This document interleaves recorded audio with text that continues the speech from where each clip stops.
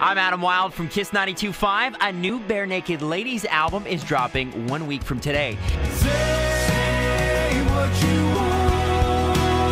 As our Brad Smith found out, frontman Ed Robertson's pinball hobby inspired a tune. It was when I started thinking about a pinball machine as a metaphor for a relationship.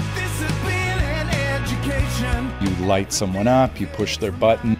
The record is called Silverball, and all the artwork is pinball themed. But it's not a concept record. There's one song related to pinball on the record. And the single is? The single is Say What You Want.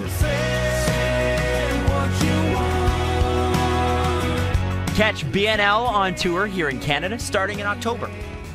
Welcome back to paradise. In case you missed it, the Mindy Project will be returning to City this fall.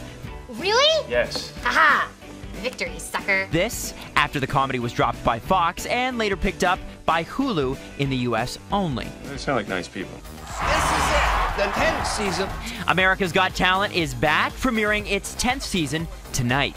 Catch it at 8, only on City. For Entertainment City, I'm Adam Wylde from Kiss 92.5.